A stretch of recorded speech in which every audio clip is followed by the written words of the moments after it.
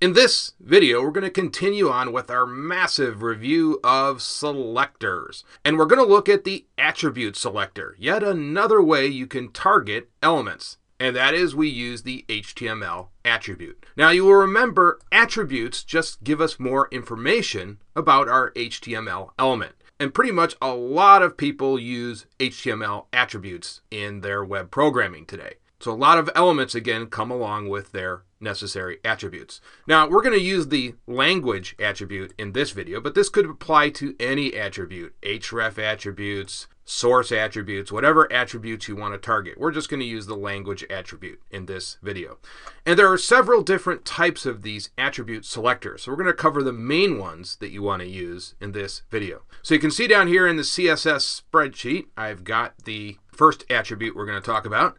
And they are always identified by these square brackets. So these are always what you're going to use with your attribute selector. Now the first attribute selector is the easiest one. You're just selecting the attribute by its type. And so in this case, we put the language attribute here. Very simple. So we're saying, hey, all of the language attributes inside paragraph elements will be selected. And if we look at our HTML page here, it will be these three. And so again, you could put any attribute type here you want. So if this was an href, you would put href here. If it was for a source attribute, you would put src, whatever you wanted. So let's go ahead and save this.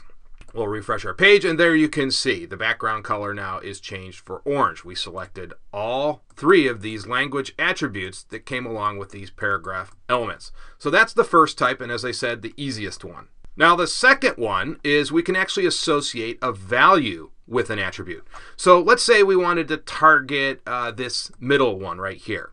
We wanted this value of FR. So we're saying, hey, give us the language attribute that has this exact value, FR, which of course stands for French.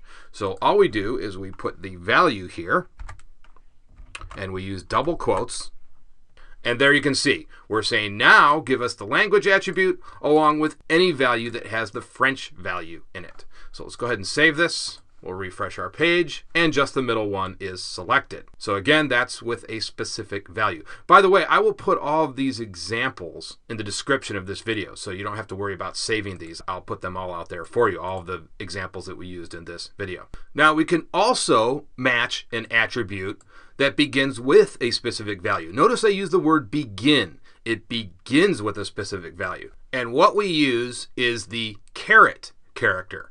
That's what we do. So we can just put that right after our language attribute. So it goes right here. And now what we're saying is any value that begins with FR, go ahead and select that element. So now this element should be selected as well, right? Because we're saying, hey, anything that begins with FR, select it. So let's go ahead and save this. If we refresh this, now you can see both of these are selected. So that's how that works. Now the opposite of that is we can match any value that ends with a specific value.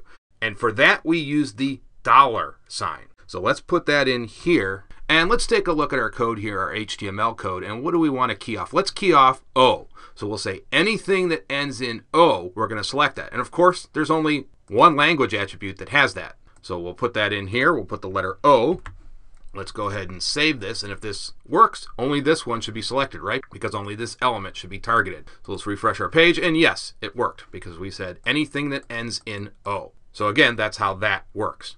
Now, there's also another way that we can target the value, and that is to select a value that is anywhere in the attribute value. And in that case, we use the wildcard symbol, and it goes right where the dollar sign was. Now, let's go ahead and target anything that has US in it. So we'll put US, and so that means that this first element should only be selected.